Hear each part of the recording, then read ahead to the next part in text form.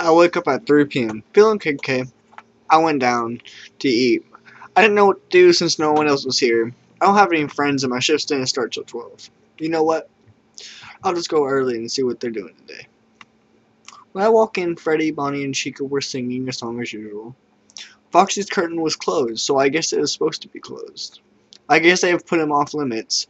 Couldn't blame them. He did scare off the crap out of everyone. I sat in the back of the room watching the show, but curiosity was pulling over me to what was behind the curtain. Finally, curiosity won, and I went over to the cove, and when no one was looking, slunk into the cove. It was dark and my eyes were having a hard time adjusting. Then, when my eyes started to adjust, a figure tackles me and gives out a growl. What are you doing in me cove? I couldn't speak out. Dang it. I just turned myself into the devil. Oh, so you just won't speak to me? I'll make this as slowly and painfully as possible. Please don't, I whisper. What was that? You need to speak up. Then something in me snapped, and it all came out. You know what? Kill me. See if I care. You're probably going to kill me tonight anyways. Suddenly, Foxy was off me, and there was a loud bang. Foxy's point of view. Today was going fine until I heard a person coming into me cove. It was last, but in the dark it was hard to tell who who it was. But girl or not, she was in me cove, and she was going to die because of it. I tackled the lass. She seemed shocked, so I guess she were going. We were at a good start already. What are you doing in me cove? I asked. A, I asked with true curiosity. And why would you be in here at your own free will? There was silence. Oh, so we're playing hard to get, are ye? Oh, so ye wish not to speak to me now? Well, I guess your death will be slow and painfully as possible. She said something, but I couldn't hear exactly what it was. What was that? You need to speak up. You know what? Kill me. See if I care. You're probably going to kill me anyways, she blurted out. I jumped off the last, Immediately hit my stool when I came down. Dang it, there goes a few more gears. Why is it I'm always hurting the good people? When the last left, I didn't know if to stop her, or to catch her, or to try to kill her. She was probably scared to death of me already. From your point of view.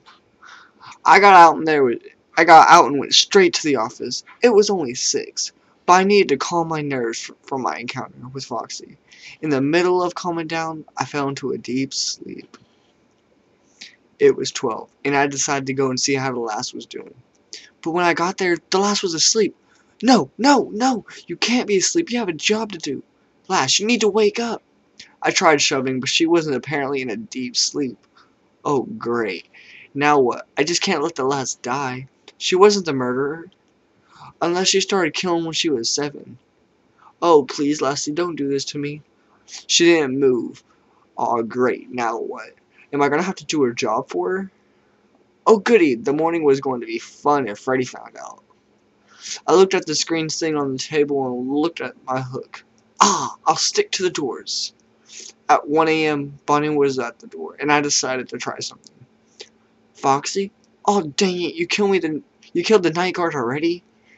No, Bonnie, I haven't killed her. She was asleep, and it's not a fair fight. You know what I mean? Ah, I see.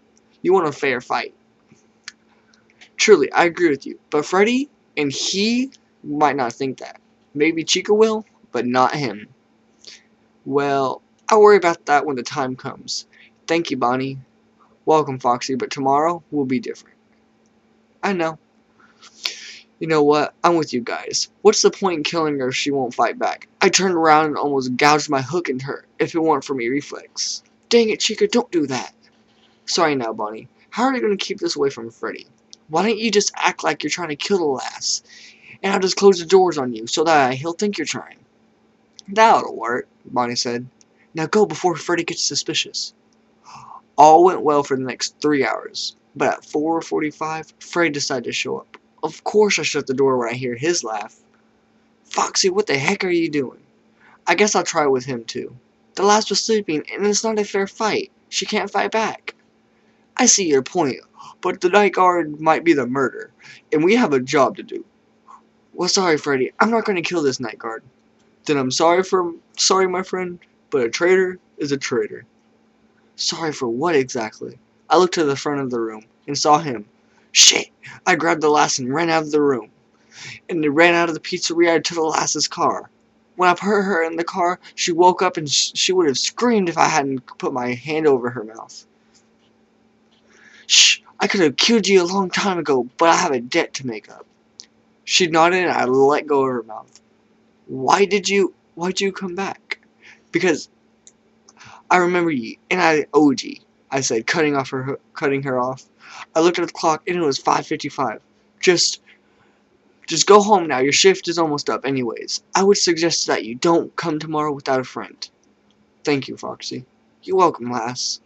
You know my name is not Lass. It's how lovely.